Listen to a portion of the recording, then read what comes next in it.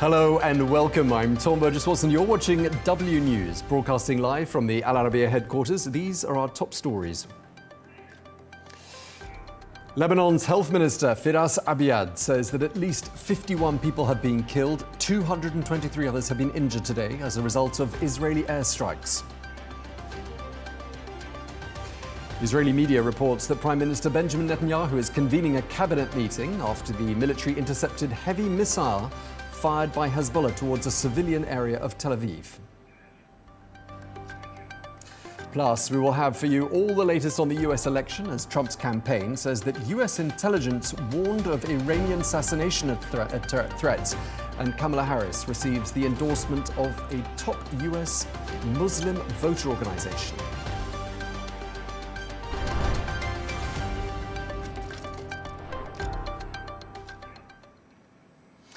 Welcome. We begin in Lebanon, where the country's health minister, Firas Abiad, says that at least 51 people have been killed, 223 others have been injured today as a result of Israeli airstrikes.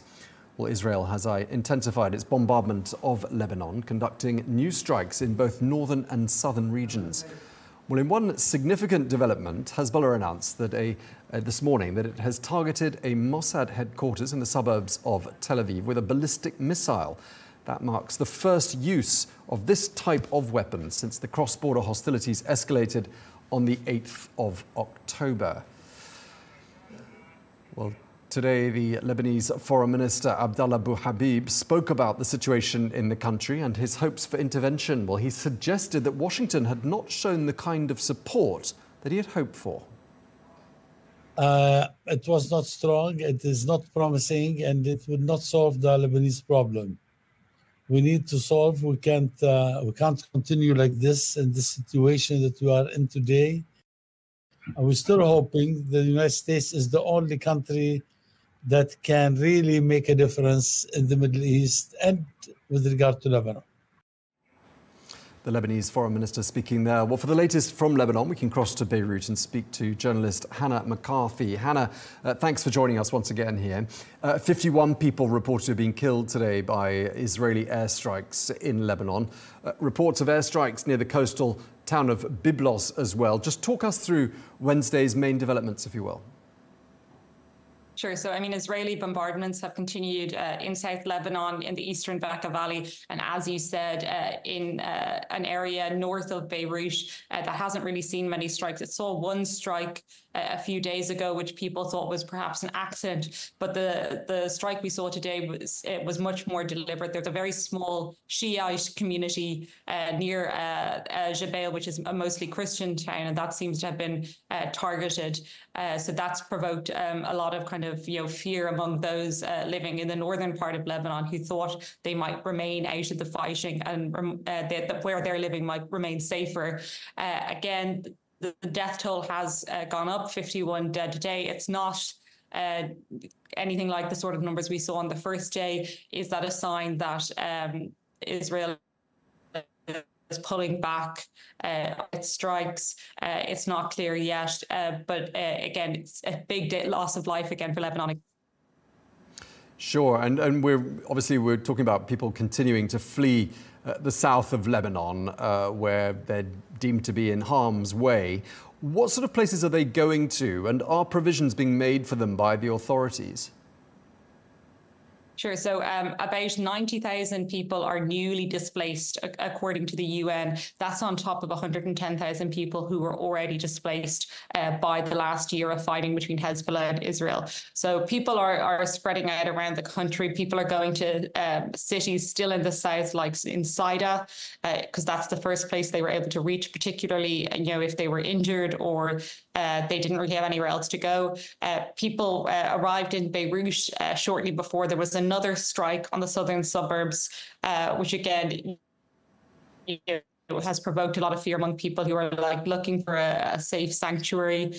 Um, and people are, and many of these people, they're they're arriving at uh, schools that have been repurposed into shelters. So they're not, you know, they don't have protective structure. Uh, okay, it looks like uh, we've got a bit of an audio issue there with uh, Beirut. Uh, speaking to our correspondent uh, Hannah McCarthy there in Beirut. Seems uh, the situation there the, uh, is no doubt having an impact on communications with the country. Well, let's move on and let's get perspective from the Israeli side of the border now. We can cross the Tel Aviv and speak to our correspondent there, Sarah Coates. Sarah, just tell us what's the latest on the ground there in Israel?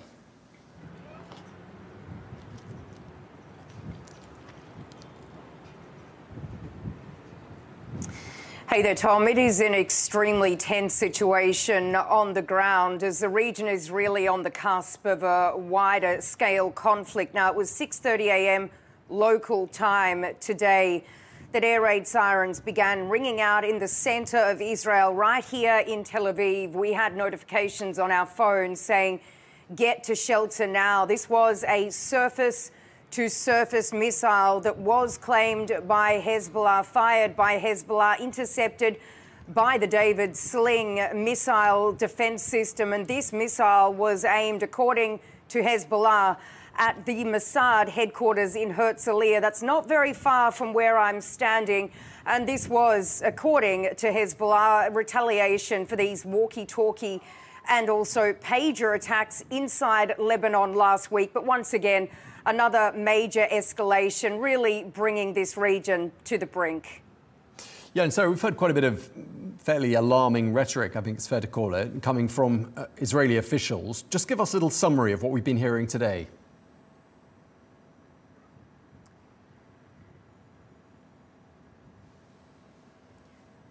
We certainly are a number of different officials. One of the latest lines we've got is from the IDF Chief of Staff, Herzi Halevi. He's been with soldiers who are drilling in these northern communities, telling them to prepare to enter Lebanon. He said that the military is preparing for a ground offensive against Hezbollah. He said that Israel has upped its attack since this surface to surface missile was fired at the centre of the country early this morning.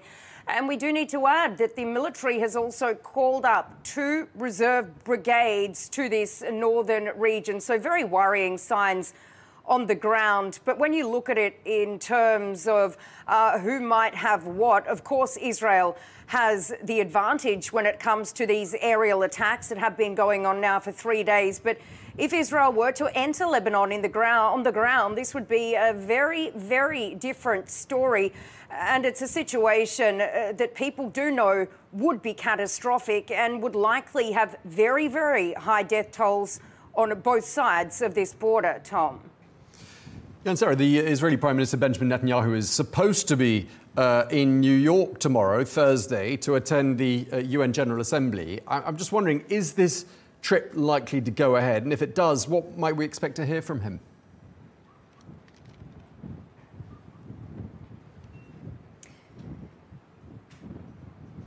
Yeah, we are hearing now that this uh, does seem likely to go ahead. That's according to a number of Israeli officials. We do understand that the foreign minister, Israel Katz, is likely to step into the role of Benjamin Netanyahu if he does fly out as planned tomorrow. Now, he'll be taking with him, according to a number of sources, hostage families, uh, people who've lost loved ones in Gaza, and also family members of people who are still being held there. But this is expected to be a very, very different reception for the Israeli Prime Minister compared to what happened last year. He gave an address really sort of touting a new era in the Middle East. But this year, if he does go, He's expected to be met with protests, met with walkouts. And uh, what we potentially could expect to hear from Benjamin Netanyahu really is a threat of Iran. He's expected to rally the global community, saying that basically Israel is fighting this war in Gaza, fighting this battle on the northern front on behalf of the West, really uh, nailing down once again, we, as we've heard from him so many times, about the threat of Iran in the region. But still, not 100% as to whether this trip will go ahead. But if it does, uh, not going to be a very warm welcome, I suspect. All right. Well, thank you very much indeed for bringing us all the latest from Tel Aviv. Sarah Coates, thank you very much indeed.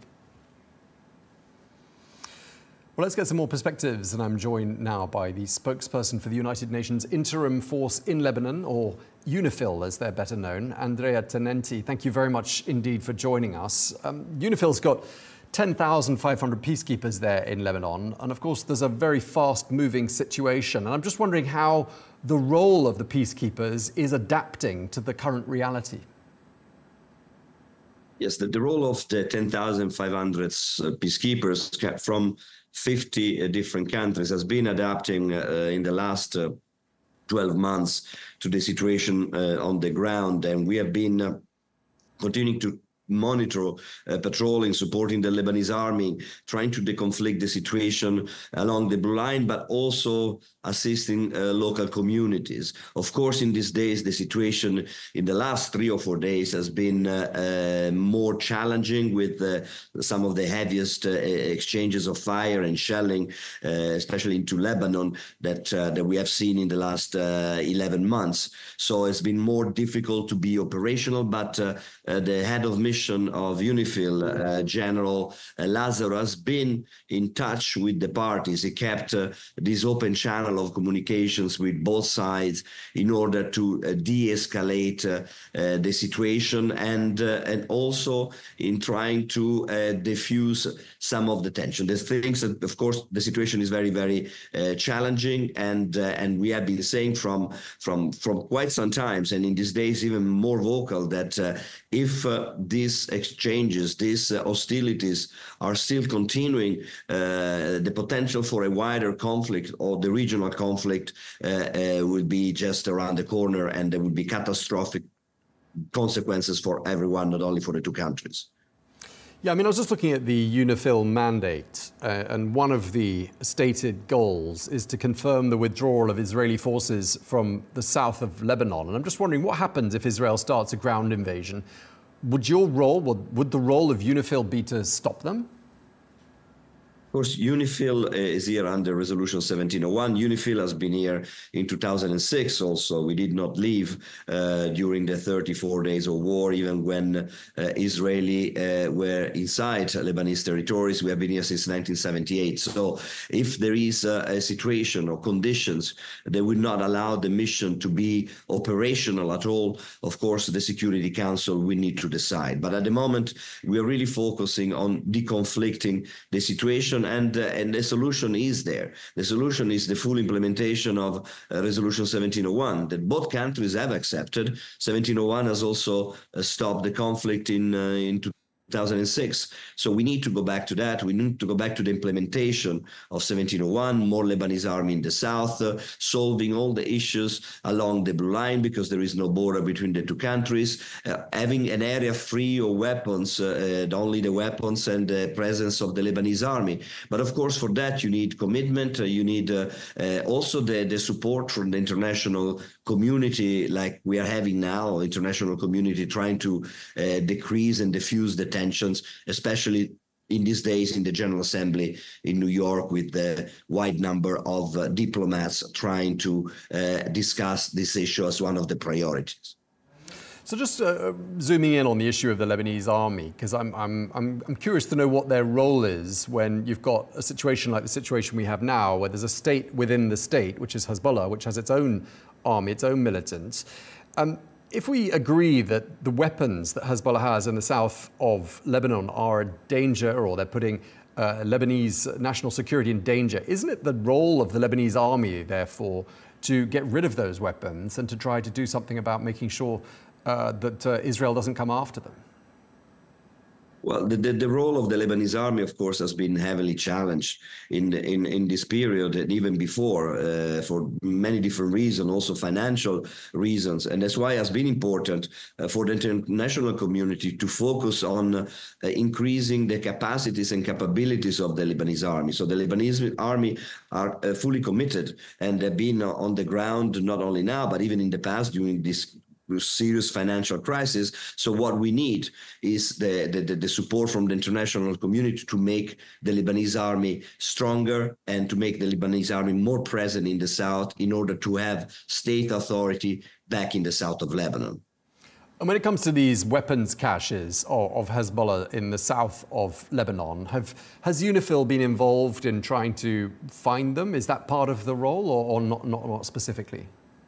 Well, the role of the mission is to support the Lebanese army in ensuring there are no weapons in in, in the south of Lebanon. Of course, uh, uh, we've seen now that, and that's what I'm saying, that also 1701 has been heavily challenged uh, because of lack of, of implementation. Uh, uh, ground and air violations also are continuing. And so there are a lot of things that needs to be implemented. And so that's why I'm saying the 1701 has all the main provisions in order to do that. What it's missing is the implementation. We can open a window of opportunities for the parties to move forward in the implementation. Implementation is up to them. It's not up to, to the mission, but we're here to uh, to assist. And that's why, as I said, uh, the, the, the implementation is key for a solution uh, in this region. We also have to think that before before October last year, uh, the south of Lebanon had witnessed one of its quietest period in its recent history, 17 years of calm and stability. We need to go back to that and move forward. I know it's very challenging. I know that it's not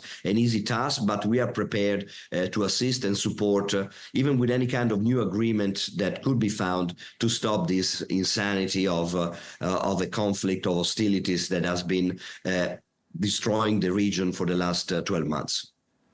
I think I'm correct in saying that UNIFIL is, is respected and welcomed on the ground, and the Lebanese people uh, appreciate the efforts made by UNIFIL. Uh, I'm just wondering, you, you, mentioned their dialogue. Could, could UNIFIL have a role in, in, in any eventual dialogue? And, and do you have a line of communication with Hezbollah?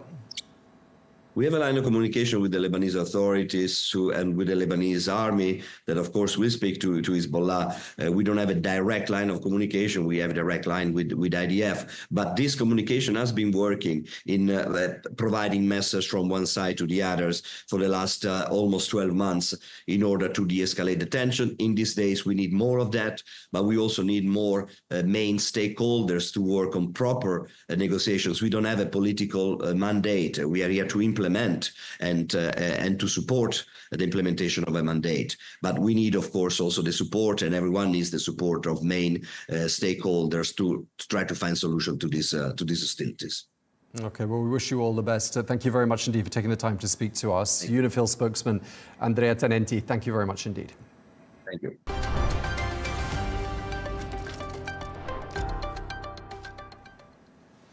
Let's turn to the United States now. And in a boost to her campaign, the Democratic presidential hopeful Vice President Kamala Harris has been given the endorsement of one of the biggest Muslim American voter mobilization groups. Engage Action says that it backs Harris and called it a responsibility to ensure that Donald Trump is defeated in November. Well, both presidential candidates are in battleground states today. Harris is in Pennsylvania.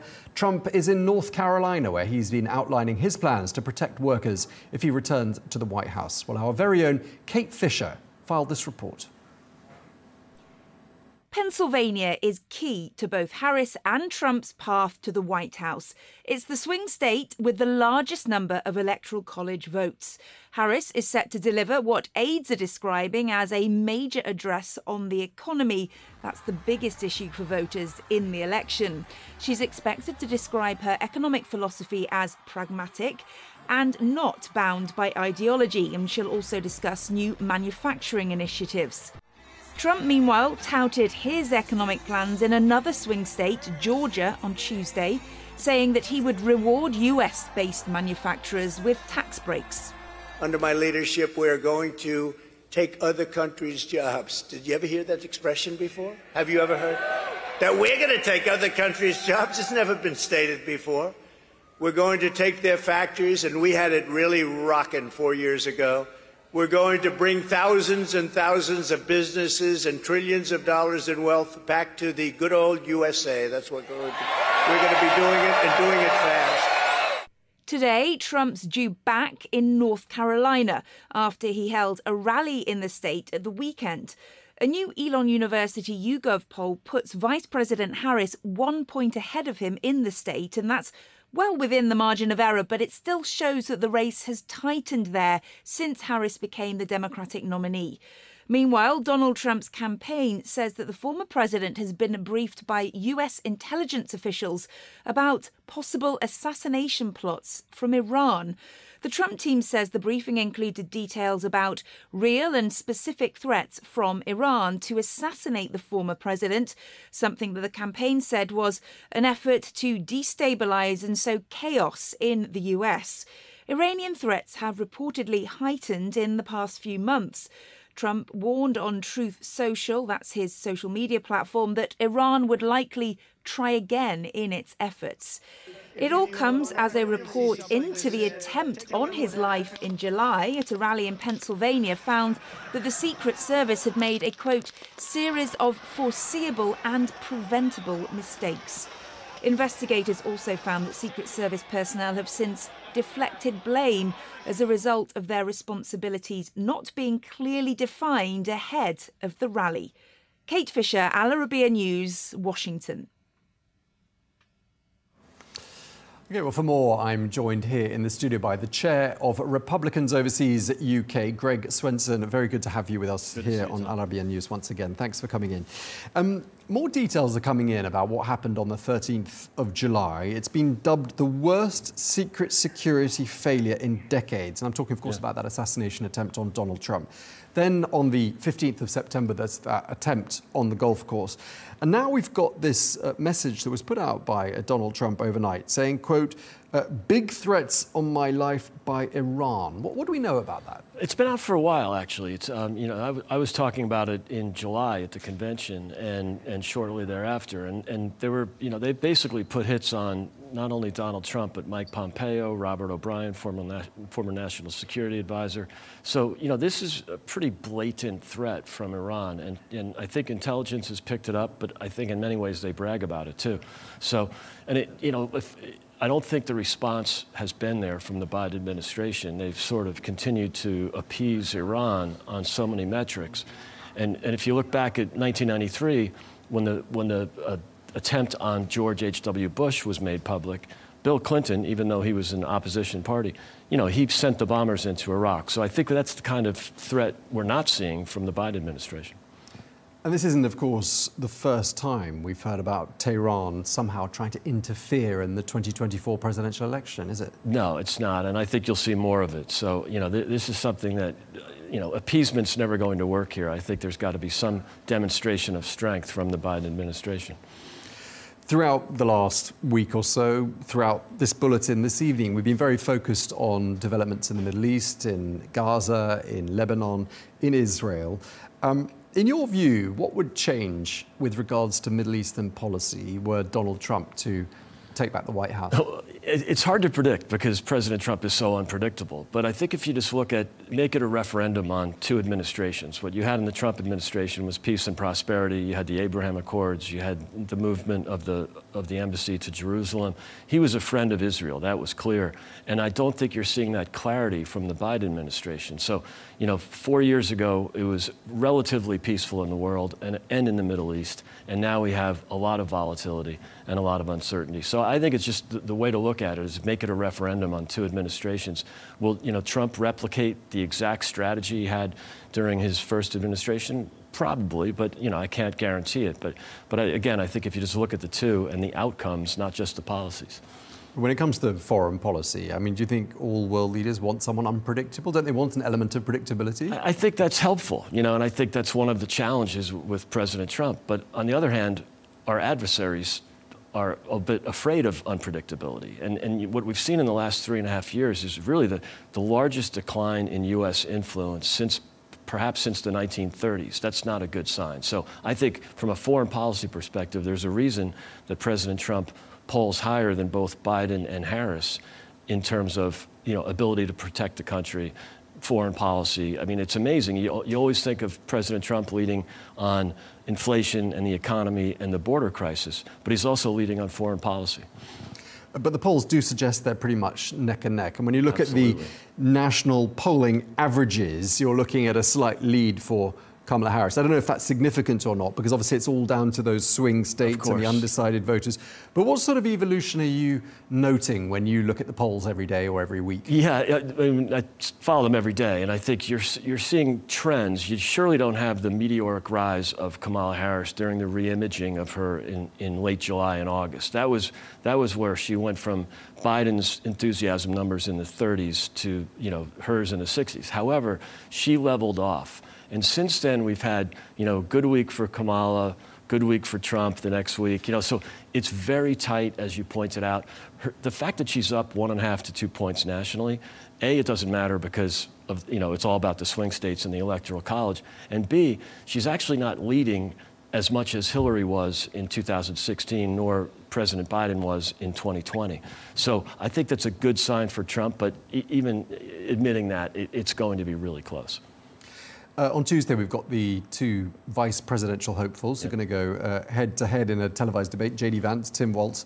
Um, that's the last televised debate of the campaign, isn't it? Yep. I'm just wondering why Vance is trailing in the polls, in your opinion. Yeah, I think, that, I mean, look, the press obviously doesn't like him, and they don't, as, as they don't particularly like President Trump either. So, you know, you've got a, a, rebranding of Kamala and complete support from the legacy media, I would call it activist media in the U.S. That's helping both Tim Walz and Kamala Harris. But if you look at the details, uh, J.D. Vance, I think, is a much better. Uh, he's much better at articulating the message than President Trump is. So I think he's been surprisingly good on the campaign trail, on the stump. And the other thing I'd like to point out is Tim Walz, when he was nominated by Kamala Harris, her numbers went down five points in Minnesota. You know, so she went from up 10 to up five. And Tim Walz is, you know, governor of the state where that's number five in the nation for people leaving the state and moving to red states. So I'm not sure it's a great indicator for Tim Walz. J.D. Vance has, has, done a good job, in spite of being slightly controversial. He's doing a good job articulating the message. And we often hear that the, the media doesn't like Donald Trump, the media doesn't like J.D. Vance. Uh, as someone from the media, right. I mean, I would counter that by saying, isn't it the job of people seeking high office to make the media like them? Not just well, not just the media, but the, the, the voting public as well. That is part of their job. I agree, Tom. That's one of the challenges for the Trump campaign. He still manages to top out at 47%. He is polarizing, and I've always argued there's been media bias against Republicans, but it's turned. You know, a you have to just face that and and deal with it, and try to appeal, and b it's turned from kind of biased into activism. And I think that's what's troubling a lot of Republicans in the U.S. right now, is it's, it's a really activist media. And, you, you know, no interviews, and granted, that's probably the, by design from the Kamala Harris campaign, but no interviews, no hard questions from the press, no press conferences. So I, I just wish they were a little bit more curious about her policies and about some of Tim Walz's policies that have done real damage to Minnesota. So, just talking there about the vice presidential debate, what about round two of the presidential debate? Do you think we're going to see? I mean, I know Donald Trump said he won't have another debate against yeah. Kamala Harris, but do you think he'll um, perhaps surprise everyone? Uh, he could. You know, I think he, if he does, he has to do a better job. I mean, he, I think it was a real missed opportunity for President Trump. And I, I think the consensus is quite obvious that in terms of the actual debate, Kamala Harris did a better job. She had a good night. She was on form. She was well rehearsed. In fact, perhaps too rehearsed. But I think that President Trump, I wish that he wanted another chance and could be a little bit more disciplined the second time around. Will it happen? I'm not sure. I am not sure they can agree to terms. I think, you know, uh, many of us on the right were disappointed with ABC and the way they fact checked uh, Trump many times and, and didn't fact check Kamala on, on several of her. They, would argue that was because he needed fact checking. Yeah, well, I think Kamala Harris did too. I'm not defending Trump's uh, hyperbole uh, that, that, that, was often checked, but I think there were several from Kamala Harris that were quite obvious. You know, the Charlottesville hoax, you know, saying that there were no American servicemen and women in harm's way. I mean, th- those were kind of easy. Even I could pick those up as I was watching it. Um, do you think another debate would change something? I'm not sure it would. And, and I think if you look at President Trump, he's not great at debates. I think he's better in the town hall style debate, but you know, he clearly wasn't up to making the argument the way that I would like to have seen him. And I, also think that on reflection, people looked, you know, on second, you know, the day two or day three, started to look at it and say, okay, Trump definitely missed an opportunity, and it wasn't a great night for him. But Kamala Harris didn't really say much. And I think people, the voters are starting to see through that. That's why she did not get a bump, in spite of winning, you know, 53 to 38 was one of the numbers I saw in terms of, you know, who won the debate. And yet she didn't get a bump from the debate. She didn't get a bump from the convention either. So she got a huge bump in late July and August, and, and perhaps it's because they ran a perfect campaign of reimaging her. So I think you'll see a, a, an electorate that looks at Trump's record and Trump's policies, which are much better than Kamala's record and Kamala's policies, versus this great reimaging they've done. And, and good for them because it's really helped in the polls. And of course, the, the Democrat ballot harvesting machine, which really did well in 2020 and 22. I hope the Republicans do better at that this time.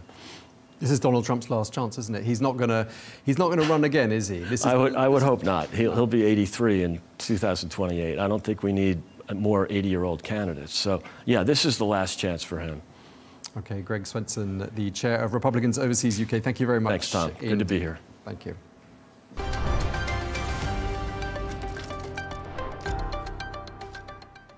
Let's get a check of some business news stories we're following for you now. And in its latest OECD report, that body has raised the forecast for the world economy this year. The Paris based organization says global GDP is set to expand by 3.2%. That's up very slightly on the previous forecast. Uh, the OECD cited growth in the US, Brazil, the UK, India, and Indonesia for that uptake, though Germany, Japan, and Argentina are all continuing to struggle. Unions in Germany are threatening strike action at Volkswagen. This as Europe's biggest automaker mulls layoffs and plant closures. Well, union reps are vowing to fight the job cuts and blame senior management at Volkswagen for the company's struggles, which also come in the face of fierce competition from cheaper Chinese manufacturers. And the US Department of Justice has filed an antitrust lawsuit against Visa. After a three year long probe, they accuse the company of having an illegal monopoly over the use of debit cards in the US. And that, they say, has enabled the company to generate billions of dollars in additional fees from US businesses and consumers. Well, Visa refutes those claims.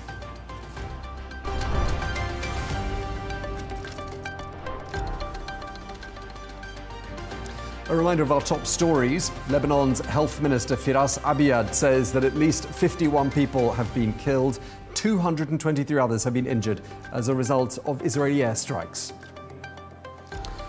Israeli media is reporting that Prime Minister Benjamin Netanyahu is convening a cabinet meeting after the military intercepted heavy missile fire from Hezbollah, which targeted a civilian area of Tel Aviv. Plus, in the US election, Donald Trump's campaign says that intelligence is warning of fresh Iranian assassination threats. And Kamala Harris, meanwhile, has received the endorsement of the top US Muslim voter organization.